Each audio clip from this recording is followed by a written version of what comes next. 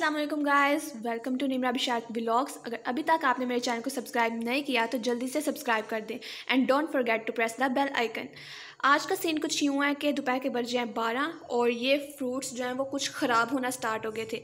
तो मामा ने मुझे बोला कि इसकी क्यों ना चाट बना लूँ? तो मैं पहले, सबसे पहले वो बनाऊँगी, और रमज़ान जो जो आ रहा है, उसकी तैयारी करेंगे. तो वो भी मैं आपको साथ साथ आज दिखाऊँगी. तो चलें, सबसे पहले बनाती हूँ फ्रूट चाट और फिर कुछ करते हैं. तो लेट्स गो ये फ्रूट चाट बिल्कुल सिंपल सी है। एप्पल डालेंगे बनानास योगर्ट और चाट मसाला अगर आपके घर भी ज़्यादा फ्रूट्स ना हो, ऐसे फ्रूट्स खाने का दिल ना करे तो आप भी इनको काटें और दही के डाल के और चाट मसाला डाल के मज़े लेके खाएँ। तो जल्दी से मैं बना लेती हूँ।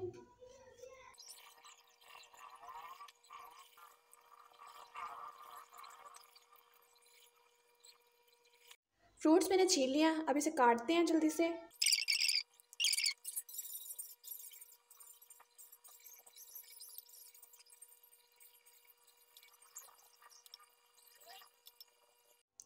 फ्रूट्स कट हो गए अब इसके अंदर डालेंगे चाट मसाला, जितना आपको पसंद हो। अगर ज़्यादा स्पाइसी चटपटा पसंद है तो आप ज़्यादा डाल सकते हैं। मैं इतना डालूँगी। देन इसके अंदर आएगी दही।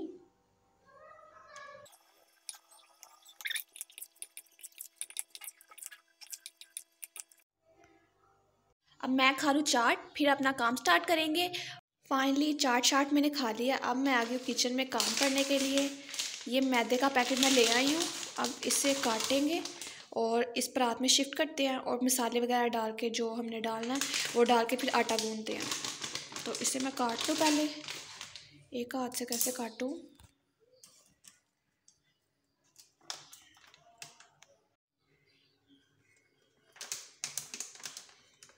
काट ही नहीं रहा ये एक हाथ से वैसे ये निकल गया।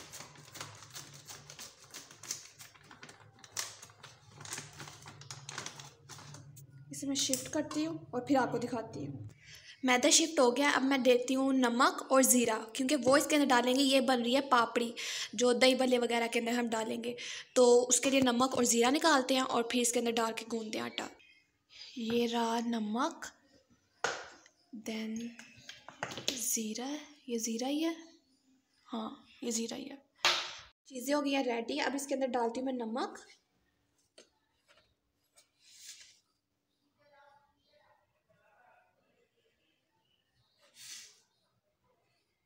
ज़्यादा ना हो जाए। ज़ीरा।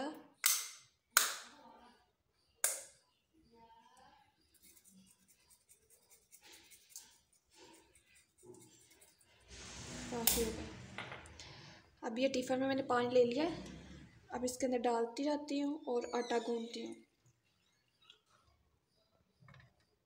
पानी तैयार है।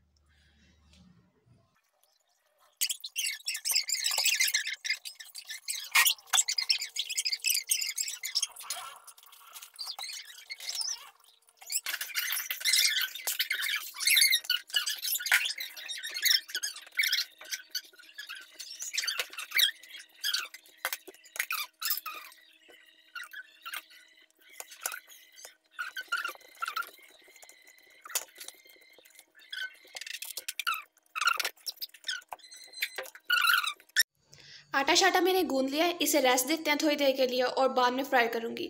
यही आटा मैं इसी तरह मतलब कि ज़ीरा और नमक डाल के रोल के लिए भी गूंदती हूँ।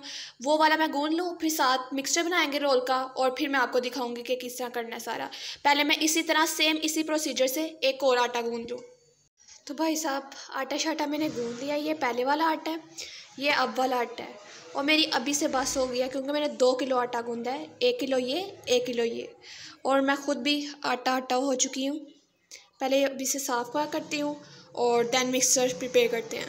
और आप गन शन चेक करें, मैंने कितना ज़्यादा भी खेर दिया है। और मुझे अभी डांट भी पड़ेगी कि बेटा साथ साथ साफ़ किया करो किचन मुझे हमेशा डांट पड़ती है इस बात पे कि मैं साथ साथ किचन साफ़ नहीं करती जब मैं निकलूँगी और ये किचन ऐसे इतना ज़्यादा बिखरा हुआ होगा। अब हमने पापड़ी बनाना स्टार्ट कर दिया है ये सारा सामान रख लिया है और सादिया बेलती जा रही है और मैं यहाँ पे फ्राई करती जा रही हूँ। तो सब बना लेती हूँ और फिर बाद में आपको दिखाती हूँ। इसको इस तरह फ्राई करते जाएँगे और जब तक ये ब्राउन नहीं हो जाती, तब तक इसे फ्राई करना है और क्रिस्पी सा पापड़ी बनानी है। काम हमारा जारी सारी है, पापड़ी बन रही है यहाँ भी बन रही है यहाँ मैं बेलने आ गई हूँ अब, क्योंकि मुझसे फ्राई सही नहीं थी और मैं काली करती जा रही थी। तो सादिया ने कहा कि तुम साइड पे हो जाओ, मैं करती हूँ। और हमने देखें, आटे का डायमंड प्ले बटन बना दिया। है आप भी जल्दी से मेरे चैनल को सब्सक्राइब करें ताकि मेरा भी वन के कंप्लीट हो और आहिस्ता आहिस्ता मैं ग्रो अप करूँ। और साथ साथ बना और एक बैड सीन हो गया। अभी हम पापड़ियाँ फ्राई कर रहे हैं और हमारी गैस चले गई है। तो अब हमें रोल बनाने पड़ेंगे क्योंकि उसका तो हमने सिर्फ़ फिलिंग करके उसे फ्रोज़न करना है उसकी फ्राई नहीं करना। तो देखें कितनी छेद है इसमें। ये देखें इसकी माँ बहन एक कर दिया मेरी बहन ने। वो कहती है उसकी साइकी चेक करें वो कहती है जितने इसके अंदर सुराख होंगे उतनी अच्छी पापड़ी बनेगी। तो आप बताएँ ऐसा होता है या नहीं होता? पापड़ी का सीन तो मोए मोए हो गया है। अब आलू बॉईल किए थे उनको करती हूँ मैं छीलती हूँ और फिर इसका मिक्सर बनाते हैं हम। ये काफ़ी गर्म है। मैंने इसको ठंडा पानी भी चेंज भी किया इसका पानी, लेकिन ये काफ़ी गर्म है। तो इसे करती हूँ और फिर देखते हैं। देन आलूओं को मैंने छील के मैश कर लिया। मैश करने के बाद नमक, काली मिर्च और चाट मसाला सिर्फ़ ये डाला है। और दूसरी तरफ़ मैंने पेड़े बना लिए हैं। और मेरी बहन फिर से बेलने पे लगी हुई है। आज मैंने कहा, बेलते जाओ बेलते जाओ बेलते जाओ, बस। रोटी बन गई है और पीछे से आप आवाज़ें भी सुन रहे होंगे, वो कैसे फेंट रही है? और वो कह रही है कि आज मुझे रोटियाँ बनानी आ ही जाएँगी। साथ इस पर घी लगाएँगे। जैसे बल वाला पराठा बनाते हैं ना, वही प्रोसीजर इसके साथ करना है हमने।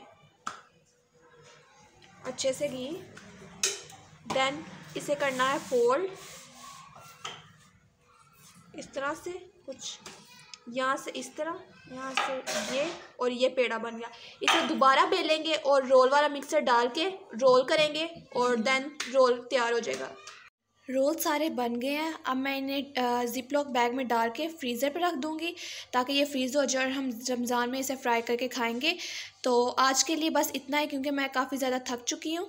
तो आप मेरे चैनल को सब्सक्राइब कर दें अगर आपको ये वीडियो पसंद आई हो। आपसे मुलाकात होगी एक नए ब्लॉग में। तब तक के लिए टाटा, बाय बाय, अल्लाह हाफिज़।